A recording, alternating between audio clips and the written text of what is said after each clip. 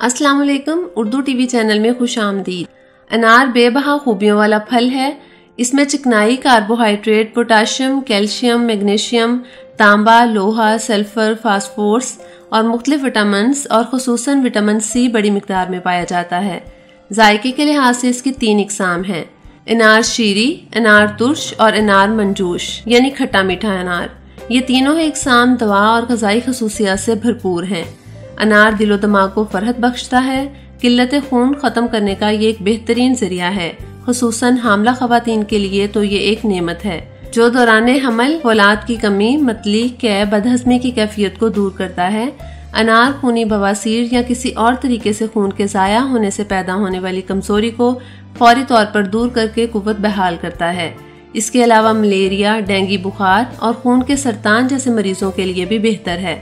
جن کے خون کے سرخ سرات کم ہو گئے ہیں اور شدید کمزوری بھی لاحق ہو، خون کی خرابی، یرکان اور دیگر امراض جگر کے لیے انار کا استعمال مفید ہے۔ دل، ہائی اور لو بلڈ پریشر کے مریضوں کو کھانے کے بعد کھٹا میٹھا انار پابندی سے استعمال کرنا چاہیے۔ کھٹے انار کا رس منہ کے زخموں کے لیے فائدہ مند ہے۔ جلن اور سینے کی سوزش میں بھی مفید ہے۔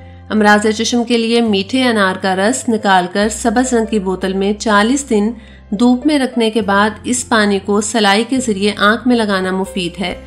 یہ پانی جتنا پرانا ہوگا، اتنا ہی اس کے فوائد میں اضافہ ہوتا چلا جائے گا۔ انار قدرت کا شاندار تحفہ ہے کہ اس کے درخت کی چھال، پھول، پھل کا چھلکا اور یہاں تک کہ پتیاں بھی مفید ہیں۔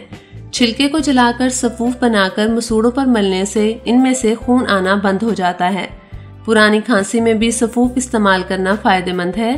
انار کے پھولوں کے جو شاندے میں تھوڑی سی پھٹکری ملا کر اس سے گرارے کرنا گلے کی خرابی کا بہترین علاج ہے۔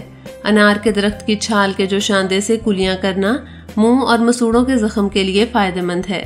اس کی چھال کا گاڑا جو شاندہ پیٹ کے کیڑوں سے نجات کے لیے انتہائی مؤثر ہے۔ انار کے پتوں کا جو شاندہ ناک میں ڈالنے سے نقصیر بند ہو جاتی ہے۔ انار کی کلیاں، چھلکا اور درخت کی چھال تینوں ہم وزن لے کر صفوف بنا لیں۔ یہ جسم کے کسی بھی حصے سے بہتے ہوئے خون کو روکنے کے لیے مفید ہے۔ اسے بیرونی طور پر زخم پر چھڑکا بھی جا سکتا ہے اور دوا کے طور پر کھلایا بھی جا سکتا ہے۔